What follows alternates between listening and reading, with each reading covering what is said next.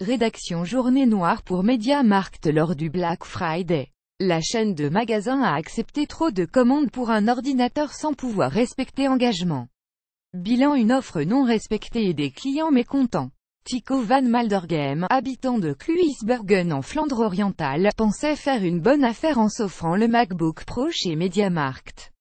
Il faut dire que la promo était intéressante, avec un prix soldé à l'occasion de la Black Friday Week, 1999 euros au lieu des 2746 annoncés en temps normal pour ce modèle de 2016.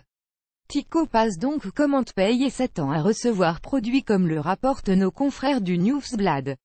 Oui mais voilà, lorsqu'il se rend au magasin, Tico ne peut recevoir MacBook. Le jeudi, j'avais déjà appelé le magasin de Courtrai où, selon la dame que j'ai eu au téléphone, six ordinateurs étaient en stock.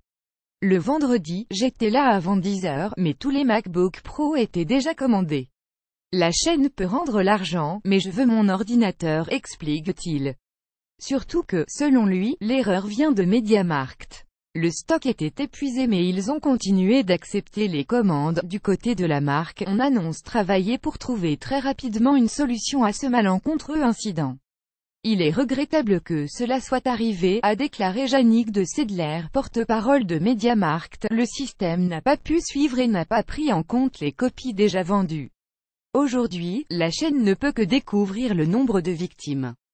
Mais MediaMarkt promet de contacter chaque client et de lui proposer une solution. Il faut juste nous donner une semaine pour cela.